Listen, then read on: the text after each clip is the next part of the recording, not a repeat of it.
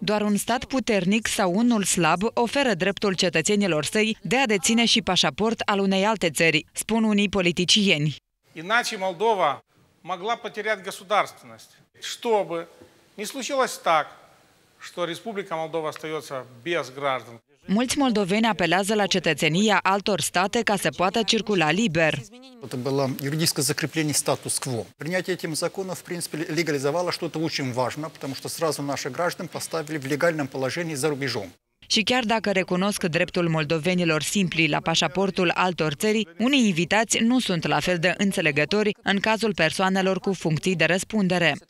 Было бы правильно, чтобы в законе ввели хотя бы классифицирование вот этих должностей, э, которые нельзя занимать с двумя паспортами. Вот как наше общество пришло к консенсусу, что государственные должности да, должны занимать люди, которые владеют государственным языком, точно так же общество должно прийти к консенсусу, что высшие государственные, военные, в органах безопасности посты должны занимать исключительно граждане Республики Молдовы.